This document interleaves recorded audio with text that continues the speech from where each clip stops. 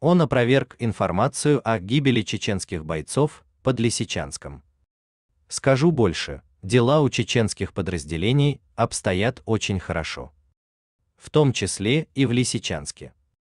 Мы готовим очередные сюрпризы для сатанистов. Это не пустые слова, написал глава Чеченской республики Рамзан Кадыров в своем телеграм-канале. При этом он отметил, что жители Украины стали невольниками натовской политики.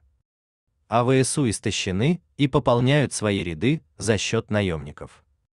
Бороться с простыми рабочими, которых Зеленский гоняет на передовые, даже как-то неловко было. Мы хотим видеть против себя профессионалов, а не заложников обстоятельств. Ждем, подчеркнул Кадыров. Он также обратился к российским мусульманам с призывом объединяться и выходить на борьбу с сатанистами на Украине. Неужели вам потом не будет стыдно смотреть в глаза родным детям, которые через время спросят, чем вы занимались, когда настоящие мужчины и мусульмане сражались против войск Иблиса? Подумайте об этом, пока есть время, чтобы потом не краснеть перед ними, заключил глава Чечни. Ранее сообщалось, что Рамзан Кадыров считает необходимым ввести наказание для уклонистов от мобилизации и предложил несколько своих вариантов.